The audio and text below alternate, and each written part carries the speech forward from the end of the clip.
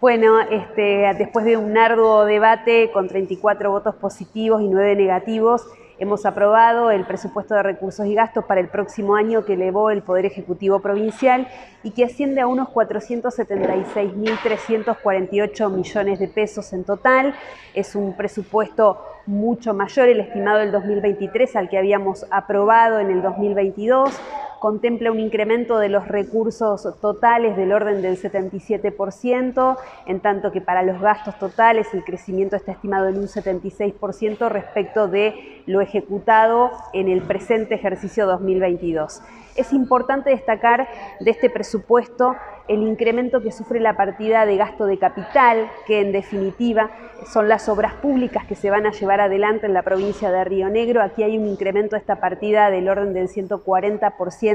Esto da cuenta de la sostenibilidad en el programa de obras públicas que lleva adelante la provincia de Río Negro eh, y que contempla eh, aproximadamente unas 400 obras eh, que están en ejecución y a licitar para, el próximo año. Eh, también es importante destacar este, que este presupuesto muestra indicadores de, una disminución del stock de deuda respecto de los ingresos totales corrientes y una disminución del déficit fiscal respecto del déficit fiscal en términos inclusive nominales que ha tenido eh, los presupuestos anteriores y los ejecutados anteriores. Así que estamos frente a un